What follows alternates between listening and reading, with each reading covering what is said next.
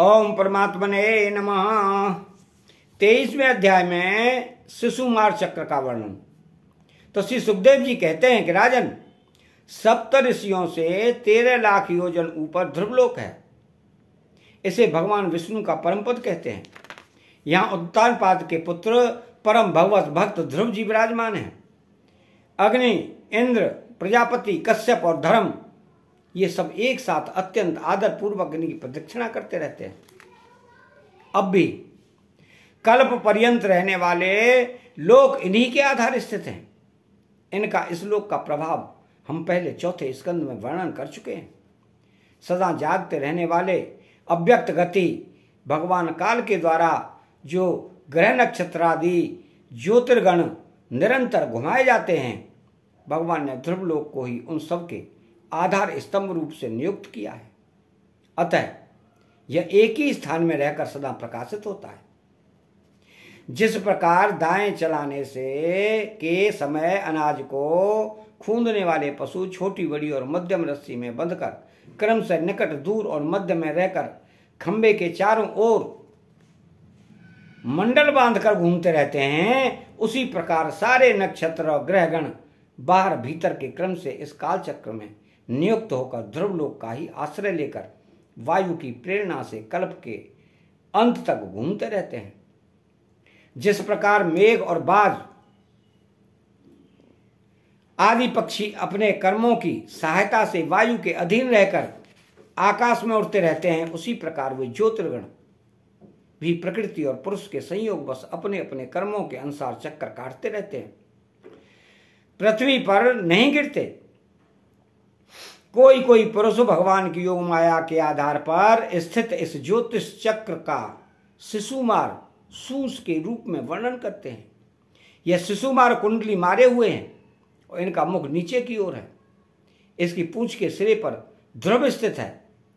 पूंछ के मध्य भाग में प्रजापति, अग्नि, इंद्र और धर्म है। पूंछ की जड़ में धाता और विधाता है। इसके कटी प्रदेश में सप्तऋषि हैं। यह शिशुमार दाहिनी ओर को सिकुड़कर कुंडली मारे हुए है। ऐसी स्थिति में अभिजित से लेकर पुनर्वसु पर्यंत जो उत्तरायण के चौदह नक्षत्र हैं, वे उसके दाहिने भाग में हैं। और पुष्य से लेकर उत्तराषाढ़ा पर्यंत जो दक्षिणायन के चौदह नक्षत्र हैं, वे बाएँ भाग में हैं। लोक में भी जब शिशुमार कुंडलाकार होता है, तब उसके दोनों ओर के अंगों की संख्या समान रहती है। उसी प्रकार यहाँ नक्षत्र संख्या में भी समानता है। इसकी पीठ में अजीवीथी, मूल, पूर्वाषाढ़ा और उत्तराषाढ़ा नाम के तीन नक्षत्रों का समूह है। और उधर में आकाश गंगा राजन, इसके दाहिने और बाएँ कटी तटों में पुनर्वसु और पुष्य नक्षत्र हैं। पीछे के दाहिने और बाएँ चरणों में आद्रा और आश्लेषा नक्षत्र हैं तथा दाहिने और बाएँ नथनों में क्रमशः अभिजित और उत्तराषाढ़ा हैं। इसी प्रकार दाहिने और बाएँ नेत्रों में श्रवण और पूर्वाषाढ़ा एवं दाहिने और बाएँ कानों में धनिष्ठा और मूल नक्षत्र हैं। मधा आदि दक्षिणायन के आठ नक्षत्र बाई पसलियों में, और विपरीत क्रम से मृग और उत्तरायण की आठ नक्षत्र दाहिनी पसलियों में है। सतविषा और ज्येष्ठा, ये दो नक्षत्र क्रमशः दाहिने और बाएँ कंधों की जगह हैं।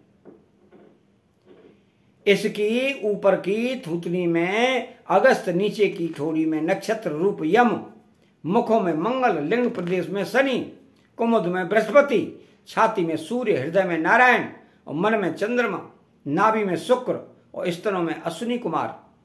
प्राण और अपान में बुद्ध, गले में राहु, समस्त अंगों में केतु और रोमों में संपूर्ण तारागण स्थित है। राजन यह भगवान विष्णु का सर्वदेवमय स्वरूप है। इसका नित्य प्रति सायंकाल के समय पवित्र और मौन होकर दर्शन करते हुए चिंतन करना चाहिए। तथा इस मंत्र का जप करते हुए भगवान की स्तुति करनी चाहिए कि संपूर्ण ज्योतिर्गणों के आश्रय, कार्यचक्र स्वरूप, सर्वदेवाधिपति, परम पुरुष, परमात्मा का हम नमस्कार पूर्वक ध्यान करते हैं। ग्रह नक्षत्र और ताराओं के रूप में भगवान का आधिदैविक रूप प्रकाशित हो रहा है। वह तीनों समय उपयुक्त मंत्र का जप करने वाले पुरुषों के पाप नष्ट कर देता है। जो पुरुष प्रातः मध्यान्ह और स्वयं तीनों कालों के इस आधिदैविक स्वरूप का नित्य प्रति चिंतन और वंदन करता है, उसके उस समय किए हुए पाप तुरंत नष्ट हो जाते हैं। अतः, यहाँ तेईसवा अध्याय समाप्त होता है। चैनल को सब्सक्राइब करें, बेल आइकन घंटी को दबाएँ और कमेंट में राधे श्री कृष्णा लिखें, जय श्री कृष्णा।